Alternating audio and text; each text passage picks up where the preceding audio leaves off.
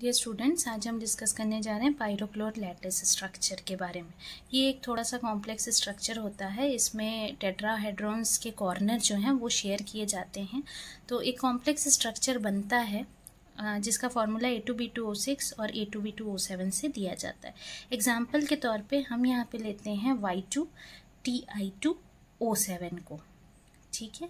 तो यहाँ पे ए और बी जो है, वो रेयर अर्थ या फिर ट्रांजिशन एलिमेंट्स होंगे बी जो है उसकी मैग्नेटिक प्रॉपर्टीज़ होगी। तो इसको हम कुछ एग्ज़ाम्पल से समझते हैं, समझने की कोशिश करते हैं। जो इंटर एटॉमिक फोर्सेस होते हैं दरअसल, वो फोर्सेस कॉन्फ्लिक्ट करते हैं एक दूसरे के साथ। तो दोनों ही सिंपल स्ट्रक्चर को फेवर करते हैं, लेकिन दोनों का स्ट्रक्चर अलग अलग होता है। इस वजह से रिजल्टेंट हमको एक कॉम्प्लेक्स स्ट्रक्चर मिलता है। ठीक है? तो इसके लिए हमको सबसे पहले ज्योमेट्रिकल फ्रस्ट्रेशन को भी समझना पड़ेगा, क्योंकि फ्रस्ट्रेशन इस तरह के मैग्नेटिक सिस्टम्स में ऑकर करता है, ठीक है? तो यहाँ पे देखिए, जैसे अगर हम एक ट्रायंगुलर अरेंजमेंट लेते हैं, ये एक ट्रायंगुलर अरेंजमेंट लिया हमने, जिसमें ये एक स्पिन और ये हो गया आपका दूसरा स्पिन तो यहाँ पे आप देख सकते हैं कि जो एनर्जी है, वो तभी कम होती है जब एक स्पिन अपने पड़ोसी स्पिन से अपोजिट अलाइन रहता है। ठीक है? तो इनकी एनर्जी मिनिमम हुई। तीसरे वाले की स्पिन क्या हो? होनी चाहिए। अप होनी चाहिए कि डाउन होनी चाहिए? तो तीसरे वाले की स्पिन कुछ भी हो, वो तो उतनी ही एनर्जी ये दोनों के साथ शेयर करेगा। तो इसीलिए ये क्या करता है? ये दोनों के साथ अपना इंट्रैक्शन कम कर देता है। तो इस वजह से ये जो है सिचुएशन ये कहलाती है आपकी मैग्नेटिक फ्रस्ट्रेशन ठीक है?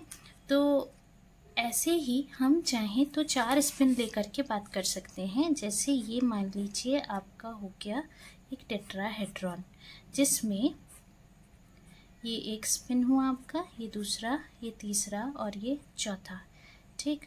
One, two three and four इसमें इंट्रैक्शन देखिए एंटी पैरेलल इंट्रैक्शन जो है, वो फेवरेबल होंगे और पैरेलल वाले अनफेवरेबल होंगे। एंटी पैरेलल कौन कौन से बन रहे हैं आप देखिए? वन और थ्री के बीच का इंट्रैक्शन जो है, वो है आपका एंटी पैरेलल वैसे ही टू और फोर के बीच का इंट्रैक्शन जो है वो है टू और फोर के बीच का इंट्रैक्शन भी एंटी पैरेलल है। वन, फोर के बीच का इंट्रैक्शन एंटी पैरेलल है। वन, थ्री के बीच का इंट्रैक्शन एंटी पैरेलल है।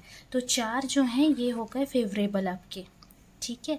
लेकिन फिर भी यहाँ पर दो अनफेवरेबल इंट्रैक्शन है। कौन कौन से? जो वन और टू के बीच में है एक, और जो थ्री और फोर के बीच में है ये दोनों अनफेवरेबल हैं। तो इस वजह से ये पूरा सिस्टम कहलाएगा फ्रस्ट्रेटेड ठीक है? अब तीसरा, एक और हम कंडीशन देखते हैं। तीसरे वाले कंडीशन में, मान लीजिए, ये कुछ इस तरीके से है, आपका स्पिन अरेंज ये एक, दो, तीन और चार। यहाँ पे बिल्कुल नेट स्पिन होगी ही नहीं। क्यों नहीं होगी?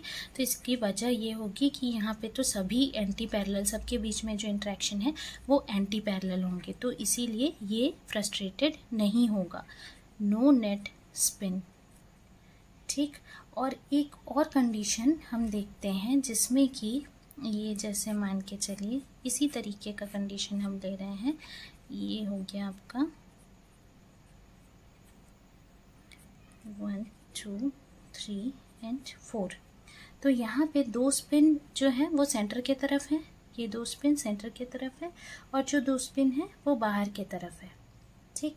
नेट मैग्नेटिक मोमेंट अपवर्ड्स होगा और इस वजह से फेरोमैग्नेटिक इंट्रैक्शन मैक्सिमाइज होगा।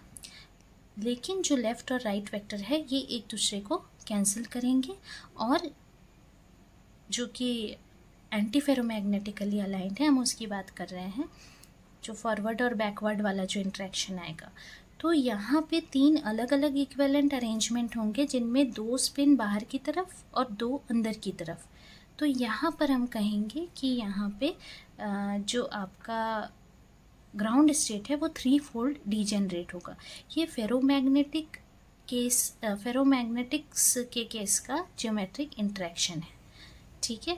ये बेस्ट पॉसिबल अरेंजमेंट उसके लिए हमने लिया हुआ है।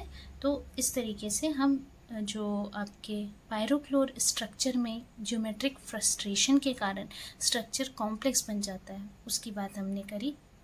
अगर आपको ये वीडियो पसंद आया तो शेयर लाइक सब्सक्राइब करना ना भूलें। कोई डाउट होने से कमेंट सेक्शन में पूछ सकते हैं। Thank you